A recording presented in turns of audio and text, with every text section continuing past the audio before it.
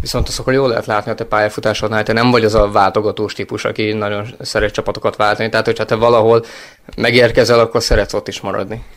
Hát ez csak nem, nem csak rajtam múlott, hanem, hanem bizony vezetőkön is, akik mindig, mindig ha a szerződésem lejárta előtt egy-két évben már hosszabbítást kínáltak mindig, és igen, én nem, nem vagyok egy olyan vándormadár típus, hogy fél évente máshova kell menni. Most ebben a szempontból érdekes szituációban vagyok, mert nyáron lejár a szerződésem, és még nagyon nem szóltak hozzám, úgyhogy hogy januárban sok mindenem most már el kell gondolkodni.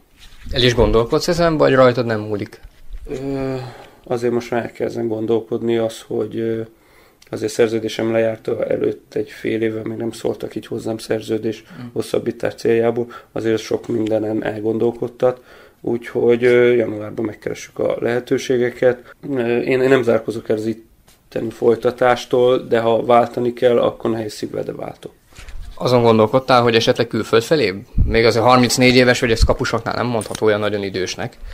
Szűcs Lajos példáját említve külföld felé szerintem ilyen top bajnokságok, ma nem hiszem, hogy nekem helyem lenne egyelőre, vagy, vagy 34 éves sem már, de biztos, hogy kipróbálnám magam egy olyan bajnokságba, ami, ami nem sokkal erősebb, mint a magyar, itt gondolok egy osztály vagy egy svájci bajnokságra, vagy Ciprus felé venni az irányt, de mondom, nem, nem, nekem nem egyenesen az a terve, hogy most külföldre meneküljek innen, pedig elég nehéz ez a futballközeg most, de, de nem, nem, nem, nem. Amelyik lehetőség jön, és amelyik tetszik, főleg úgy, hogy családos vagyok, azért már meg kell választgatni a lehetőséget.